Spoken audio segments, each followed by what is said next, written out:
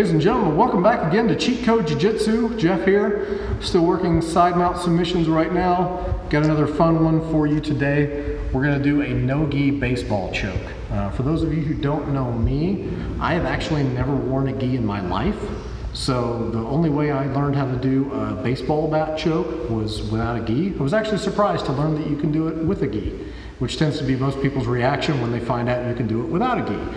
But I've got a couple little setups here. I'll show you how I do it. There's some different grips that you can use, but I've got a nice little nasty approach to it. And I, I like, if I possibly can, to work it from the bottom staple position that I showed in, in our last video because it takes away his primary defense to my baseball choke, which I'll show you right now. So Alex down here in side control.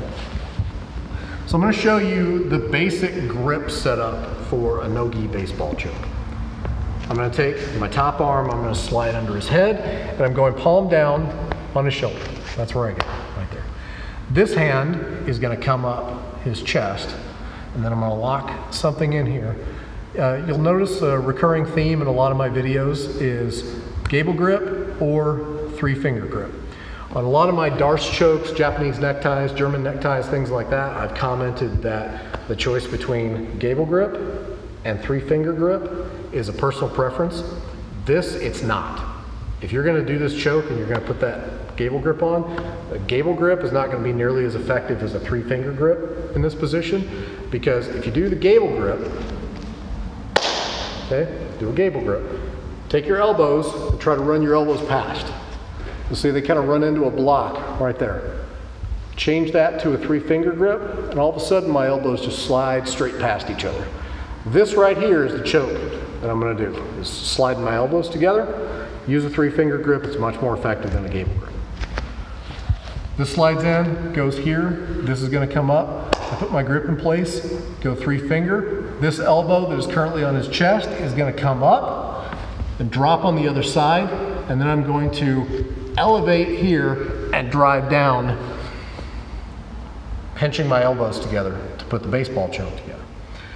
His primary defense to a no-gi baseball choke, uh, basically works the same way in a gi, is when I come in here and I get my hands together, you see how Alec has got his hand posted on the inside of my elbow, okay?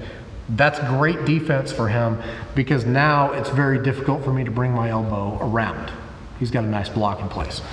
Which is why, if I'm setting up my no-gi baseball choke, I'd really like to set it up from bottom staple because it pins this down and makes it just nearly impossible for him to use this hand to block my elbow from coming across.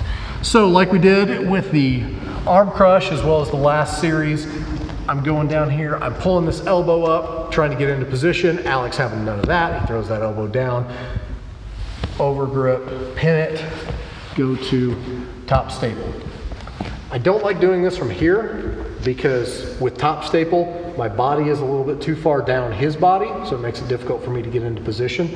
But if I get here, just like in the arm crush video, slide down to his wrist, windshield wiper this in. You see how I'm kind of climbing up his body? That's what I want for my no-gi baseball choke. So I'm still in a side position. This goes underneath of the head. I grip the shoulder. This comes up underneath. I put my three finger grip in place. And then from here, this staple stays in place. Elbow comes across. And then I'm going to lift his head, grind that down in, catch right here on the side of his throat. Works out to be a super effective choke. Different people use some different grips for this. Um, I see people come in here and they use more of an S grip and pinch right there. Uh, one of the things about using the S grip in this position is it's putting the flat part of your wrist up against the guy's neck. Uh, my buddy Ronnie Rhodes loves using this. He's extremely effective with it.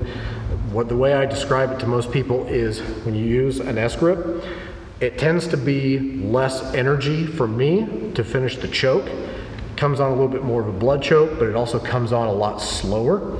The way that I do it with the three finger grip, grinding in, I'm going outside blade of my wrist really hard down into his throat. It's very painful, it comes on very fast, but it also requires a little bit more energy from me. So That's a personal preference, whether you prefer doing it S grip or you like doing it three finger grip. I prefer the three finger grip. I just like the way it ends, the baseball choke. But if you prefer to do it the other way, nothing wrong with setting that up too. So back to the beginning, side mount, reaching down, grab the elbow, he pulls that down, over grip the wrist, pin it, top staple, set up shop, that slides down, windshield wiper in. I've got my bottom staple in place. I slide underneath of the head, go to the shoulder. This comes through because this arm is pinned. He has nothing to block my elbow. So I put my three finger grip in place, elbow up, across, drop it down, elevate the head, pinch the elbows together, finish the no-gi baseball choke. Super effective, uh, great one to catch. That is by far not the only position that you can catch that choke from. It's sneaky, it comes on really fast. A lot of guys don't expect it. Do some videos in the future, I'm sure, and some other setups to get to that no-gi baseball choke. Really good, one of my personal favorites. Uh, if you got a different grip option that you like to use, feel free to drop a comment down below. Let me know how you like to do it, and maybe we'll do another video in the future on some alternate setups and some alternate grips. If you like the video, please hit, hit the like button. Helps me out with helping YouTube show my videos to people and the suggestions and search boxes and everything. Subscribe to the channel, turn on notifications. Helps me out a lot, and I'll see you guys in the next one. Thanks.